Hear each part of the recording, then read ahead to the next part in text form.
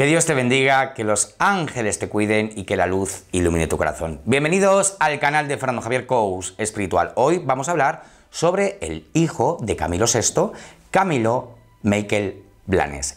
Y vamos a ver la salud, vamos a ver cómo va a estar el asunto de sus energías, de cómo está en estos momentos después de lo que ha sucedido con su padre. Y vamos a ver también el tema del dinero, de la herencia, qué es lo que vuestro amigo Fer va a, a, poder percibir y qué es lo que va a suceder con el tema monetario. Recordad que mis predicciones siempre están hechas con mucho cariño, con mucho respeto para todos y que no tengo nada preparado. De tal manera que tú, lo mismo que yo vea, es lo mismo que tú vas a saber y que siempre con respeto para todos, incluido las personas que yo tengo en esta mesa. ¿De acuerdo, amigos, amigas? Que os quiero mucho. Gracias por estar aquí. Y vamos a ver ahora mismo al hijo de Camilo VI. Vamos a ver qué es lo que va a suceder, cómo está Camilo a nivel de salud. Este Sagitario de energía fuerte, poderosa, pero a veces un poquito descontrolada, ¿de acuerdo? Estamos grabando 16 septiembre de 2019, son las 9 de la noche, hora española, y vamos a ver qué es lo que percibo para él. Bueno, ante todo tiene una carta muy buena, muy positiva, que es el Sol, ¿vale? El Sol le está representando, ¿vale? Ya momentos grandes para él a nivel energético. No obstante, sí es cierto que eh, en estos momentos está sufriendo muchísimo, está en un momento de decaimiento y no solamente por lo que es su padre, ¿eh? aquí me están revelando algo más, ¿vale? Y eh, lo que este hombre o ese señor, lo que sí le vendría bien ya, le anuncian mucho, es una persona de apoyo. Yo le siento como que en estos momentos está en una situación muy complicada, como que está arrastrando él como una especie de depresión o algo así como de tres o cuatro años aproximadamente atrás. Tenemos cartas muy turbias, tenemos lo que es la justicia al lado del juicio, el ermitaño, el loco y la torre, lo que nos está indicando que yéndonos atrás como 3-4 años, lleva arrastrando un momento delicado, un momento difícil, complejo y sobre todo realmente que su estabilidad, su energía no está nada acomodada.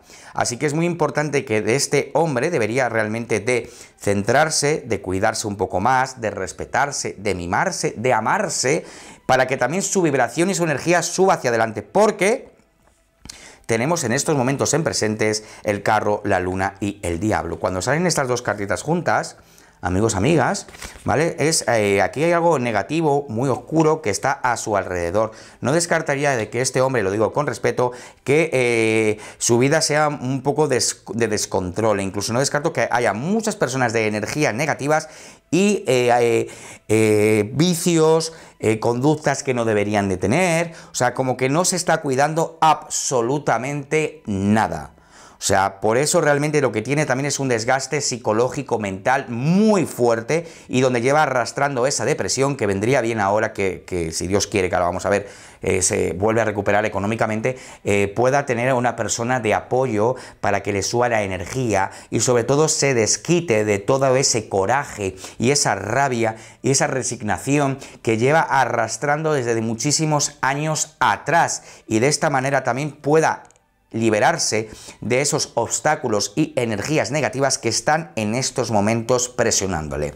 Un poquito más hacia adelante, ¿vale? Es lo que queda de año. Estamos en septiembre, octubre, noviembre, diciembre, enero, febrero. Yo creo que para febrero o marzo, ahí podemos verle con una nueva energía. Como que realmente él sí siento como que se está renovando, como que algo ha hecho o ha hecho algún tipo de cambio. Y le noto como de mejorías, le veo mejor, le veo celebrando algo. Algo para él que incluso realmente le va a beneficiar muchísimo y donde va a tener un poquito más de amor propio. Cuando tenemos un poquito más de amor propio, subimos lo que es nuestra energía, nuestro campo energético, nuestra protección y nos ayuda a que cualquier situación negativa no entre. Podemos decir que en estos momentos no veo grandes eh, complicaciones para él, pero sí hay unos detallitos por ahí que le vendría bien corregir, así que si realmente le llega también este vídeo, que eh, se lo corrija, que ponga un poquito de ayuda, que, que le ayuden, porque a veces el humano también necesitamos ayuda de vez en cuando para tirar hacia adelante y sobre todo también descargarnos de muchas emociones y recordar amigos, amigas, que cuanto más nos alimentamos, de situaciones y problemas que nos han ido sucediendo pueden ocurrir o casi suele siempre ocurrir son enfermedades. Entonces lo mejor es que cuando nos encontramos en una situación muy difícil y muy complicada, pidamos ayuda para que nos ayuden a solventar cualquier situación y que en futuro no atraigamos esas enfermedades, ¿de acuerdo? Pero podemos decir que se remonta, sí, que vuelve a recuperar energía, sí, y que va a estar una temporada luego muchísimo mejor, pues ahí que lo dé con todo, pero la ayuda es muy importante. Vamos a ver ahora el tema de la herencia, algo que me habéis ido preguntando, Fer, ¿qué va a pasar con ese tema, con, el hijo de Camilo VI, Dios mío? Porque yo amaba mucho a Camilo.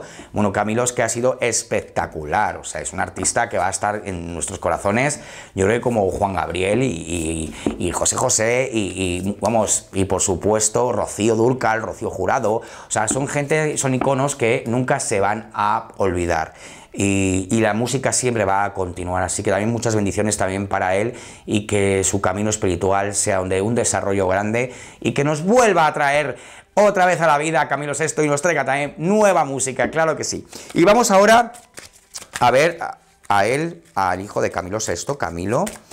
Vamos a ver cómo va a ser el tema de la herencia, ¿de acuerdo? Recordad siempre con respeto, con cariño para todos, incluido para él, que no tengo nada preparado y lo que yo vea es lo mismo que tú vas a saber. Estamos grabando en estos momentos lunes 16 de septiembre 2019 y son las 9 de la noche, ¿vale? Bueno, aquí realmente, mira, fijaros, han salido tres cartas muy significativas, la justicia, el sol y la torre. Aquí vienen cosas muy interesantes, vamos a meternos ahora, porque yo presiento que, fíjate, ¿eh? alguna trampa por ahí en el tema de, de la herencia, ¿eh? Algo por ahí no, no, no fluye del todo, pero vamos a ver si al final se soluciona o van a tener que incluso... Pues esas cartas suelen ser de abogados, abogados que en un momento determinado a puede haber alguna querella, alguna denuncia o algo, ¿eh? No lo descarto. Bueno, vamos a ver por aquí...